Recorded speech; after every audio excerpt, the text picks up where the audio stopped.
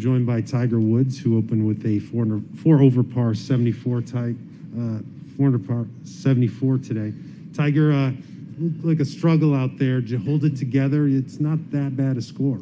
Well, I did not hit uh, a lot. I did not hit a lot of good iron shots. Um, I drove it well, um, but my iron shots were, were not very good. I didn't get the ball very close.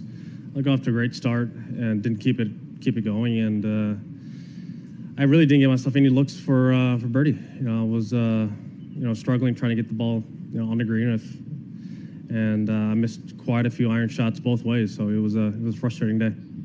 All right, let's go two and then one right, right across you. Uh, Tiger looked like you tweaked something, looked like something was bothering you, and also bunker shots. Ball came out hot. What, hot, what- yeah. it- what happened? Yeah, all the bunker shots uh, came out hot. You know, that's not uh, the sand is uh, a lot faster than than I thought it would be.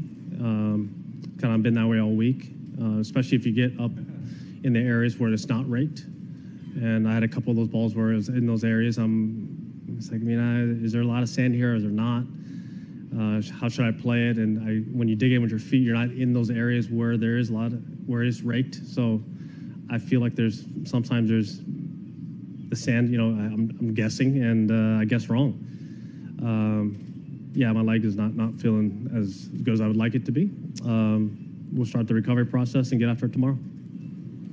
Let's go across to number one. There were a, f- a few instances when you went iron off the tee when Rory and Jordan both hit driver. Was, Yeah. was that always the strategy? And when you see them do that, does it make you think like, oh, I'm laying pretty far back here? Well, it, it wouldn't have been so far back if I would have hit the iron shot solid and put the ball in the fairway. Um, uh, I was playing in my spots, and those guys, uh, you know, obviously have a different game plan, and you know, it's just different. You know, the game's played very differently now, and it's more aggressive.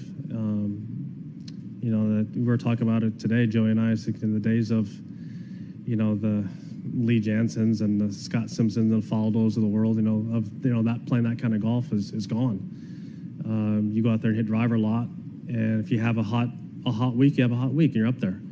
Um, so uh, it's just the game's just different. It's, it's much, much more aggressive now, and I, I know that. But I was playing to my spots. If I would hit the ball f- solidly on those two holes and put the ball in the fairway, I would have been fine. I would have had nine iron, eight iron there. That's not a big deal.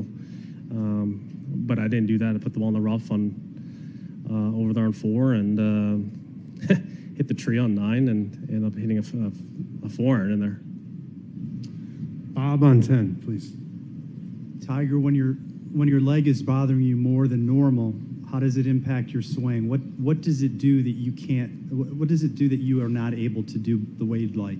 Well, I just can't load it, and uh, loading hurts, and pressing off it hurts, and uh, walking hurts, um, and twisting hurts. So, so it's just golf. if I don't play that, if I don't do that, then I'm all right. All right, Tiger. Thanks so much for got it. finding some time for us. Have a great afternoon. For more information, you can visit tulsaworld.com.